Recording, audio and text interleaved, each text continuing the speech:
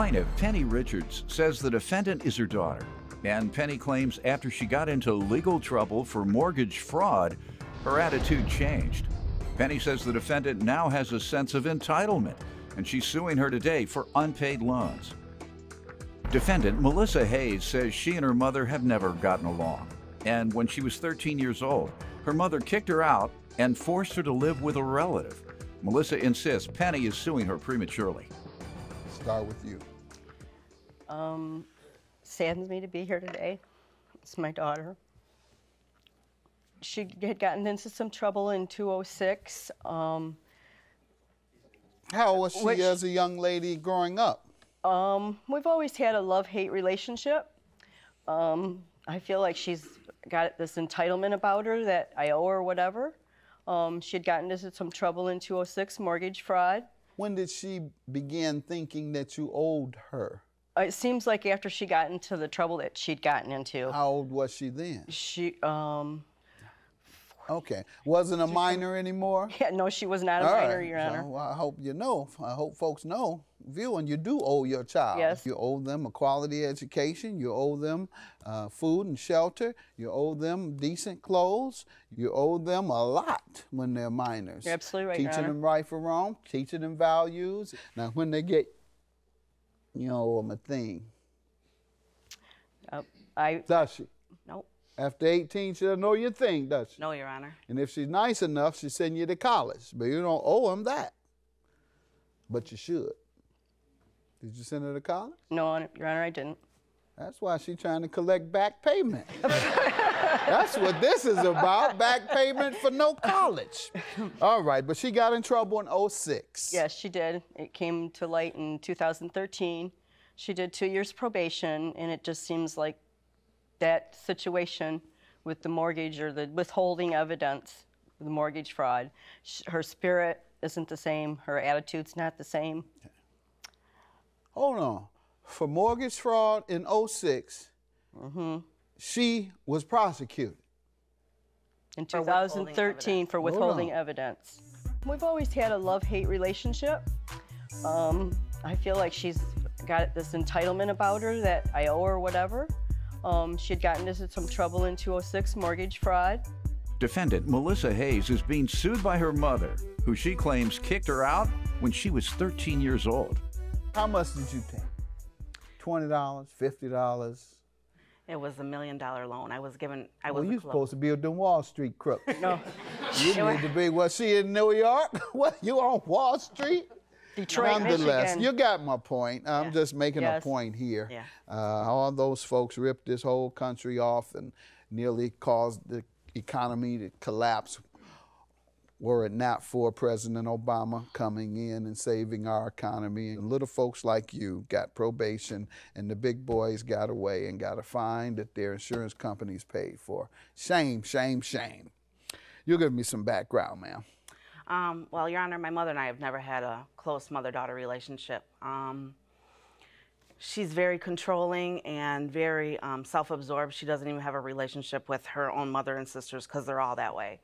Um, I haven't lived with my mother since I was 13. That's not. I've lived with my grandmother, my aunt. When I was 19, I was pregnant, needed to come back home and live, but because she didn't like my son's father, I wasn't in an abusive relationship. Why did you leave at 13?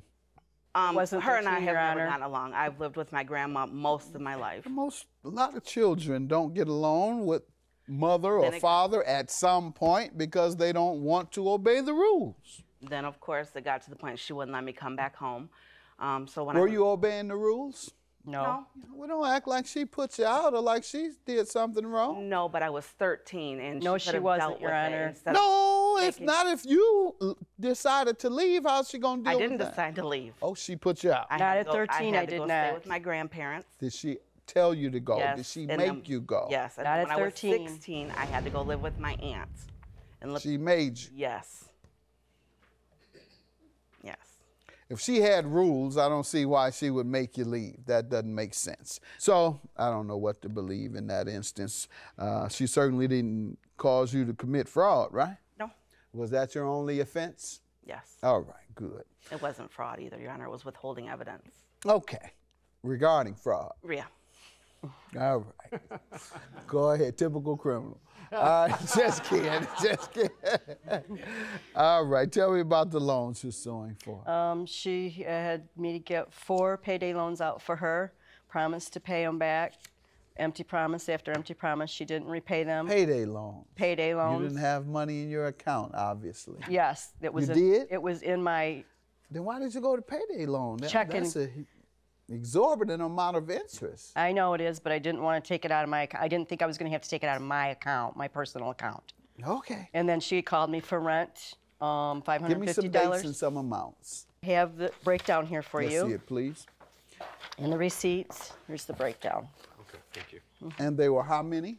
There was uh, four payday loans, and then there's a loan there that wrote out of my checking account for rent. January of 15, October 15, 11 15.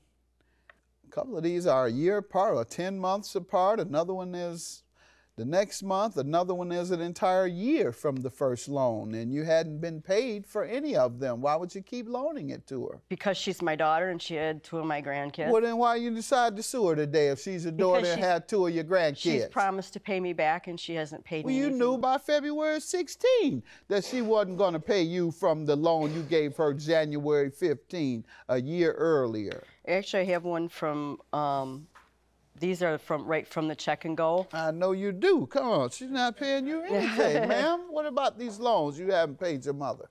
Your Honor, they were ongoing loans, so Yeah. they they were paid and then they were reborrowed. When she reborrowed for me, I lost my job in December and I was out of work for two months. She reborrowed from you. No, reborrowed for me. Okay. Because I had been paid. I had paid. Bottom line, uh, did you borrow a total of 2580 that is currently unpaid? Yes, Your Honor. All right, so we're not talking about the repaid loans. We're talking about the outstanding loans. What defense do you have to the outstanding loans? I feel she's suing me prematurely. Yes, I b- borrowed the money. One was from January 15. Yes, I fell on some financial problems. I lost my job. I'm a single mother. Um, and I just got back to work. I've only been back to work for two months, so I'm How still. long were you off? I was off for two months. This is over a year and a half nearly. Yes, Your Honor. So why couldn't you pay her something on that? I've offered to pay her, but she tells me I- she didn't give it to me that way. She doesn't want it back that way. I can't pay That's full lump sum. not true. She wouldn't you wouldn't take half That's not or true. I have Well, texts. saying that what? That I won't take any of that 2580. I have texts that it's due and she needs it all paid. Oh, she put you out. I Not had at to go- 13, I, I had to did go not. Stay with my grandparents. Did she tell you to go? Yes. Did she and make then- you go? Yes. and Not at 13. I was 16, I had to go live with my aunt. And live, She made you. yes. Defendant Melissa Hayes is being sued by her mother, who she claims kicked her out when she was 13 years old. For which loan? You got four, remember? which one? Anyone, anyone. Okay, so that must have been after February 16 that she said that. Yes. And let me see it, it where it says any of them. And that's because she's told me that she would have the one lump sum. That's why And she has a right to demand all of her money. That's not a defense to not paying. If you had didn't have a payment plan, and it doesn't sound like you did, a binding payment plan, she can ask for all of her money at any time. Whenever you owe somebody money, you better talk as sweet as you can to them. Unless you have a repayment agreement, like you're living under somebody's roof. And folks get mad because they won't go for their mess while they're living under their roof. You want to obey the rules? Leave. Mm-hmm. It's your own place. If you're an adult, she just told you that at 13. Just kidding. You didn't tell her. Judgment for the plaintiff, ma'am. You owe her by your own admission. Have a good day. Judgment for the plaintiff. Thank you, Your Honor. I've never been good enough for her. That's not true. That's the way she feels. Always. That's Her always. opinion. It's always my opinion. It's never the way she makes me feel. It's always because I feel that way. She never takes anything for any. She never takes fault for anything. Uh, Yes, I do. Yes, I do. I'm not perfect.